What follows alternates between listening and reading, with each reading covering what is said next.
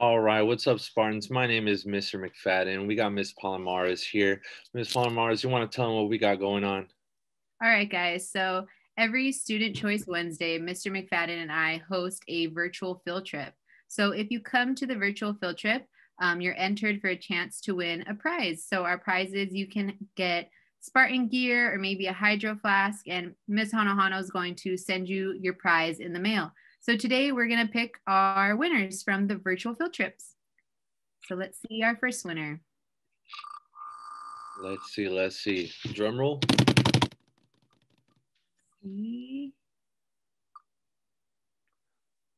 Oh, Victor, Victor, Victor. Congratulations, dude. That is our first winner for week one. Let's see who the next winner is. Okay, let's start it again. Another drum roll.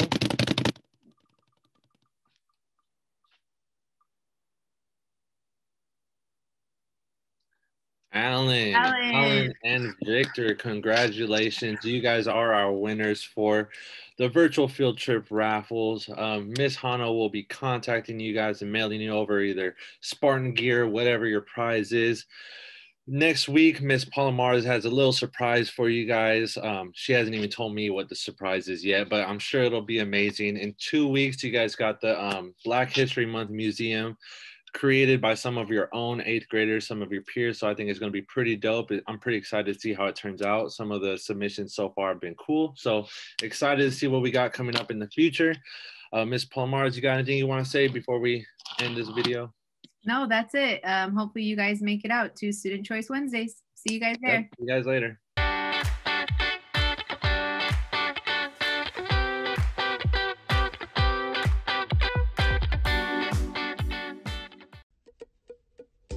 Hey everyone, it's Miss Vera here with some tech tips from our Genius Period 3 class. This week we cover digital citizenship, privacy, and security. According to commonsensemedia.org, identity theft is a type of crime in which your private information is stolen and used for criminal activity. They do this by phishing. Phishing is when someone poses as an institution and sends you personalized messages asking you for private information. We had a great discussion in class this week, and Stephanie says you can protect yourself from phishing by looking for clues such as spelling and grammar errors. Companies would not make these mistakes because it makes them look bad. Andreas added on another way to protect yourself is to simply ignore the emails. No major company would randomly ask you for personal information. And finally, Aiden says be wary about the Wi Fi in public spaces. Make sure that you're only on secured browsers. And finally, this week we made infographics about how to protect yourself online. You always want to use strong passwords, don't open mail from strangers, avoid unsecured Wi Fi, and also avoid sharing personal information. This was created with Adobe Spark Video. It's super easy to use. You should check it out, especially if you are into making videos. This is credited with work from Stephanie, Andreas, and Adrian. Have a great day, everyone. Must watch in honor of Black History Month. Ratings can be found on Common Sense Media.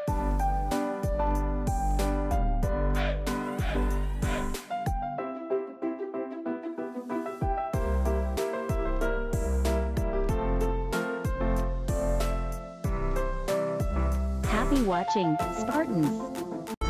Hello and good day, Spartans. My name is Maximilian Girbano. Today's date is February 26, 2021. Our character counts quote for today is from Theodore Roosevelt. He said, Fairness. This country will not be a good place for any of us to live in unless we make it a good place for all of us to live in. My favorite colors are red, white, and blue. Speaking of that, let's do the pledge.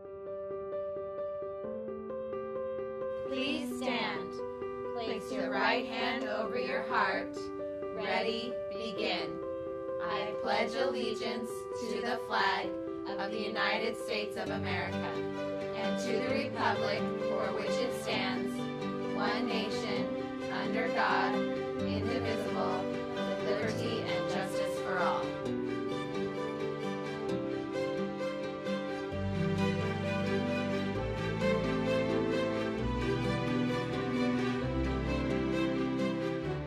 Next is the daily news.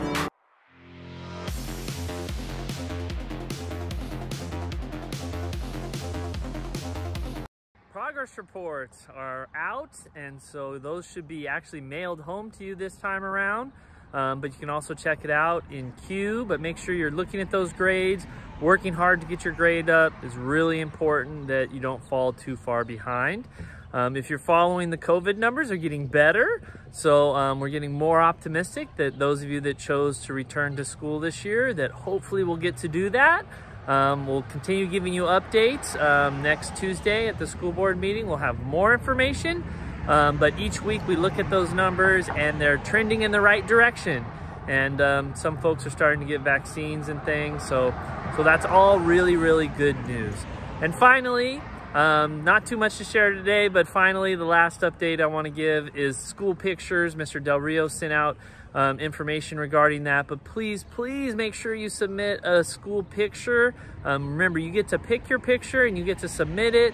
Um, it's really important because all of our students are getting a yearbook this year. We want your picture to be there. We don't want just some Spartan head that says photo not available. We want a picture of you. So please make sure you're submitting those. I hope all of you have a great weekend. Keep working hard in class and never forget to read, lead, and succeed. Have a great day, Spartans.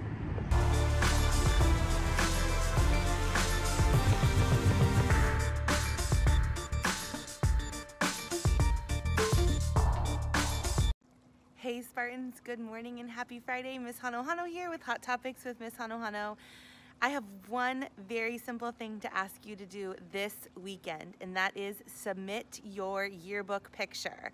There's been tons of information. I'll put more information on Instagram, but um, Mr. Del Rio, Miss Pyle, Mr. Browning, and our wonderful Stauffer PTA have worked really hard to buy every single one of you a yearbook. So the yearbook's gonna be totally free. We're gonna get you a yearbook, but we need you to submit your picture. You have to do it this weekend. They are due Monday, March 1st. Um, email Mr. Del Rio if you have any questions. I can't wait to see all of your pictures. Submit your pictures. Bye, Spartans. Once again, my name is Maximilian Girbano, and today's date is February 26, 2021. Have a great day, Spartans. Don't forget to read, lead, and succeed. Hello, eighth graders. Mrs. Hayes here to give you some in- very, very important information on what's going on. First, the Spanish placement test. Um, everyone in PE should have taken the Spanish placement test um, by the end of the day today. Everyone in PE should have taken the Spanish placement test in their PE class by the end of the day today. Oh my goodness, Mrs. Hayes, I missed it. Or Mrs. Hayes, I don't have PE class. All right, everyone in PE um, that missed PE or doesn't have a PE class, I'm sending you an email today that email will have a link for you to go to on Wednesday, Wednesday, March 3rd. That's the next week, Wednesday, March 3rd at 1045. This will be during student choice time. So you'll come in, you'll take the test, and when you're done, then you can go to your other student choice thing. What day is it? What day is it? Wednesday, March 3rd at 10:45 a.m. If you need to take eighth graders, eighth graders, if you need to take the Spanish placement test. Now that's the test that's going to let them know what Spanish class um, that you um, should be going it, uh, in when you go to Warren. Okay. All right. Next, future freshman night. Ah, say what? Yes, we are already at the point where you need to start thinking about high school. In that same email, you will see this flyer. I will attach the flyer to the email. Okay. It says all the information that you need to know. So, March 3rd, right? March 3rd, Wednesday, March 3rd. What else is happening Wednesday, March 3rd? Oh, the Spanish placement test. But that evening at 5 p.m. is future freshman night. This is your opportunity to get information on the classes over at Warren High School and find out what you're going to pick for registration. Oh my goodness. Yes, I said it. You are going to need to register for Warren High School. Wouldn't you like to know what the classes are like? Yes, you would. Go to Future Freshman Night. Okay, um, so that's going to be March 3rd from 5 to 6. Now, on the flyer, it has the little QR code, but it also has the web page. It's just taking you to Warren's web page. And they're going to have the Future Freshman Night link and everything up there on their web page. On what day? What day was that? That was March 3rd, 5 to 6 p.m. Future Freshman Night. Be there or be square. Now, the next day, there's going to be a night for your parent. Um, if they have questions, you can go to. I highly suggest if you have questions that you can go with your parent um, to the uh, question and answer session. Um, then we've got the counselors, the Warren counselors are coming to your math Zoom class. So they will be in your math Zoom class and they're going to show you how to register for your classes over at Warren High. But Mrs. Hayes, I don't know if I'm going to Warren. Still do the registration. Everyone should do the registration. Fill it out, turn it in, um, just in case. It's just in case. Now, if you think you're going to be going to another high school, a different high school, um, or you're applying for uh, some other high school, make sure you have your parents call Miss Anna in the office and let Miss Anna know because she needs to be on the lookout for when you get accepted. Because when you get accepted, then she's got to pull your file because your file shouldn't go to Warren. Your file needs to go to that school. So she needs to be aware of that and it needs to go in the computer. So once you get accepted, and we have the acceptance letter, okay? So it's really important that your parents call um, and let Miss Anna know if you're planning on not attending Warren next year. Okay. If you guys have any, any, any other questions, let me know. All right. If we have promotion ceremonies, that's if. We don't know if we are or if we're not. Just remember anyone with one with more than one F may not be allowed to participate.